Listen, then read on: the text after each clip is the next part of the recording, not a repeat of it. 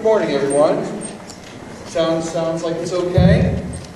Uh, my name is Chris Ostrowski. I work for a company called uh, Avout. If you're uh, interested in any of our consulting services, please feel free to stop uh, up afterwards. Uh, I've been told that uh, there's a signature thing going on that if you go to a certain number of sessions on a particular track, uh, you can come up and get my signature, and I guess you're eligible for prizes and stuff like that. So please feel free to uh, stop up afterwards, along if there's any questions. Uh, like I said, my name is Chris Ostrowski. I'm going to be uh, talking about the Oracle WebLogic server today.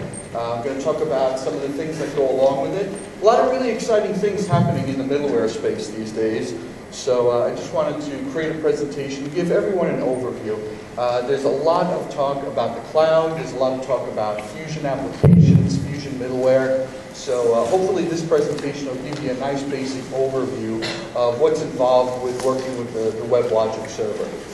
Uh, Oracle has had a, a bunch of middleware solutions for a long time. Uh, there was a tool called the Oracle Application Server. Uh, went through a couple of different name changes. If uh, anybody was using those in the 90s and the early 2000s, uh, Oracle seemed to like to change the name of the actual application server with every new release. So it was called the middleware uh, server for a while, and then Oracle Application Server, and every new version had a different number.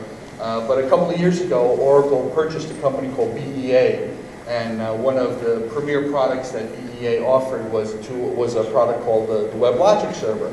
Uh, Oracle has obviously incorporated that uh, into their product stack, and the Oracle WebLogic server now is uh, the premier server that Oracle uses for all of its new tools. Do we have a lot of Oracle e-business suite people here? Oh yeah, absolutely. Uh, that's coming pretty soon, right? Anybody who's familiar with the Oracle e-business suite uh, knows that the next version uh, of the upgrade for uh, the, uh, the, the, the e-business suite is going to incorporate Oracle WebLogic as the main part of the application server moving forward. That's going to be a real major upgrade. And that is a transitional type thing for getting everybody ready for Fusion applications. Everybody knows about Fusion applications, right? That's coming down the pipe. Uh, there's not going to be a new version of the e-business suite. You're not going to see an e-business suite 13. Uh, the next version of the e-business suite is going to be Fusion applications. And Fusion applications really incorporates a lot of the technologies uh, that Oracle has purchased over the last couple of years, along with uh, the WebLogic server. That's going to be really the main point, uh, the main middleware driver for the next version of the e-business suite. So it's something that everybody should be familiar with.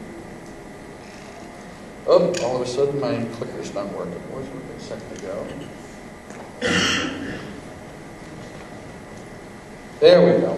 Uh, if you want to get more information about our company, avout.com, uh, I also keep a website uh, that I have a blog on, so if you're interested in uh, reading anything about the blogs, it's all about different Oracle stuff. Fourthmonth.wordpress.com. In this presentation, we're going to talk about what is middleware? Why is it important for organizations moving forward? We're moving more and more away from the traditional client-server type architectures that are out there. Uh, and virtually all of the new uh, products from Oracle uh, going in forward with uh, not just the e-business suite, but certainly with all of the different cloud technologies. There's going to be a lot of announcements about different cloud technologies here at Open World. Uh, they're all really based around these middleware technologies. And middleware is going to give you a lot more flexibility inside of your organization. Uh, we're moving, uh, like I said, more and more away from the traditional client-server type architecture. Even Oracle's development tools are really encouraging you to move towards a, a three-tier or an n-tier type environment. Uh, we're going to talk about those different types of architectures here in this presentation. And middleware is going to be a really important piece of that.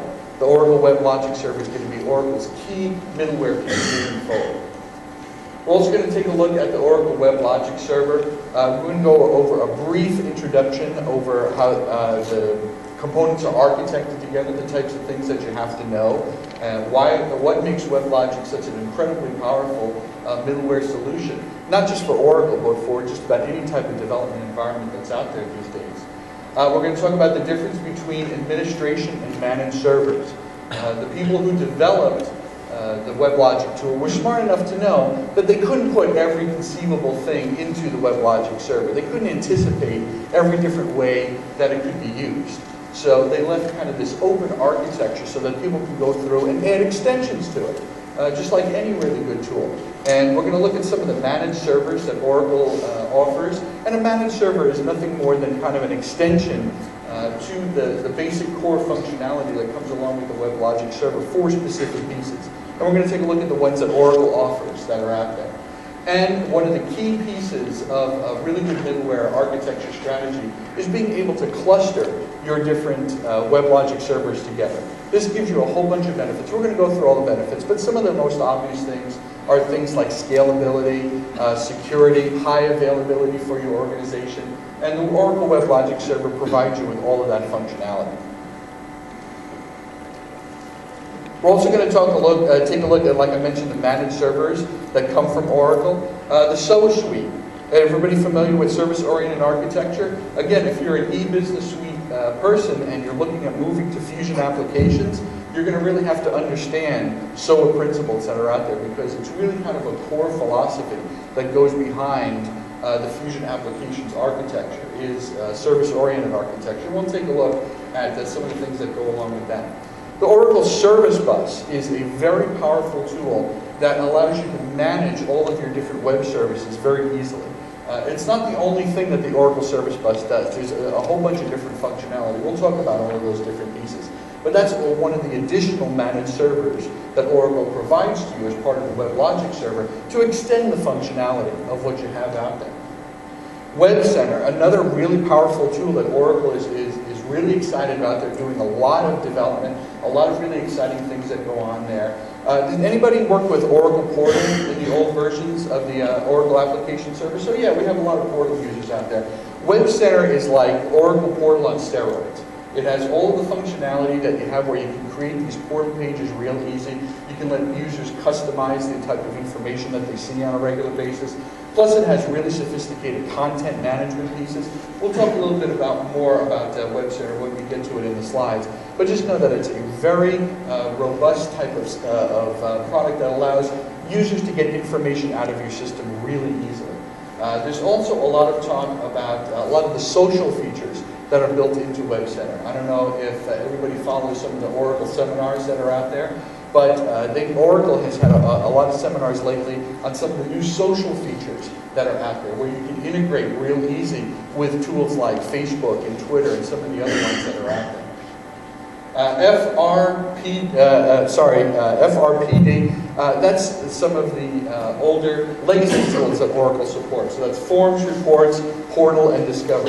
So it's a little confusing. Web Center has a, a lot of portal-type capabilities that are in it, and that's really where Oracle is putting a lot of its effort and energy. If you see a lot of their white papers, a lot of the new documentation that comes out of Oracle, they're really focused on Web Center. But they still support the portal product. So if you've developed existing portals, you don't have to give those up and, and uh, forcibly go to Web Center.